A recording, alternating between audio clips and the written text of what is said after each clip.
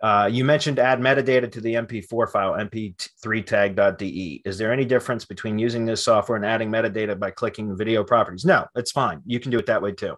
Um, so for those of you don't know to talk what he's talking about, if you on a Windows computer, if you go to navigate to an MP4 file and you right click on it and then click on properties, uh, then you can add metadata to the file that way. You can do the same thing with JPEG images as well.